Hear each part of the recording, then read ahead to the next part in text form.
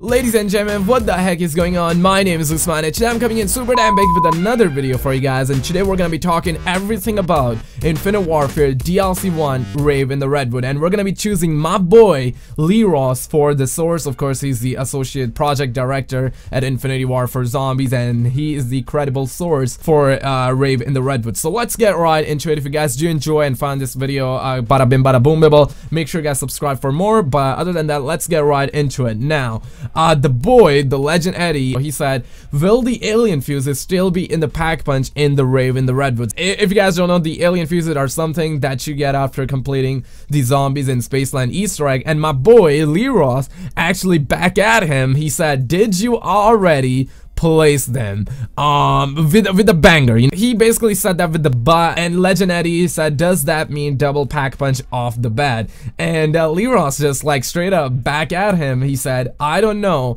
Does it with the question mark? And he said i just love how cryptic and secretive you are. Can't wait for what lies ahead. And that is absolutely what i'm looking forward to as well. And there was another boy uh by the name of blp622 who also asked do you have to complete zombies in spaceland easter egg before Rave in the Redwood? And and Lee Ross, my boy, he back at him and said, you don't have to, but it might be beneficial, who knows, with a question mark at the end, and that's kind of like very cryptic, and that is also like super straight up that if you actually complete the Easter egg in Zombies in Spaceland, there, there will be something, maybe the double pack punch ability that may be available right off the bat once you are in Rave in the Redwood, and once you actually find how to pack punch in Rave in the Redwood, if you know what I'm saying. And there's a boy by the name of Philip, he actually asked Lee Ross, will there be some something like Neil. And if you guys don't know, Neil was the robot in Zombies in Spaceland and he tells you some challenges to do. Sometimes they are very like cringy and bada bim bada boom. They aren't really bada bim bada boomable, but they are still kind of there. And if you do complete them, you get some XP, some points,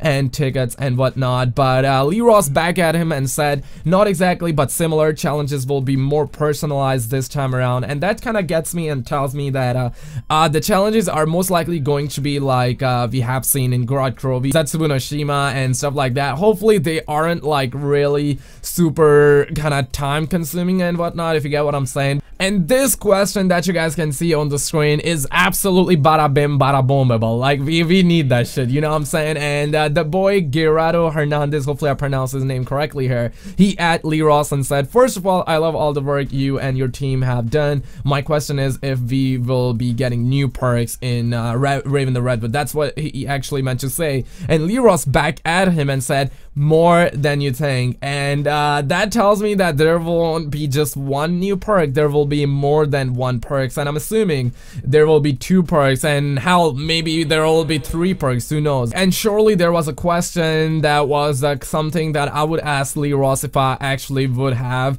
And it was, this question came, uh, came from my boy Hata V Film. Okay, it's not my boy. Why I'll say my boy. But uh, he actually said, uh, actually asked, will a lost and found system be in Rave in the Redwoods? And Lee Ross back at him like with a straight up answer and said yes. And that means I, I kind of like the lost and found system, but uh, my real question would be, is there going to be the arcade style that we have seen in Zombies in Spaceland? Um, it was a good thing, but I mean like, it's not something that I would love to see. Will players who were good enough in Spaceland be able to double pack punch in Spaceland? Another same question. And Lee Ross back at him and said, in Spaceland the fiction is that you are at the beginning of the story. One day you'll say, oh wow, hang in there. And that's where we're gonna wrap up the video guys. If you guys have enjoyed this video, leave a like, subscribe for more, and I'll catch you guys very freaking soon.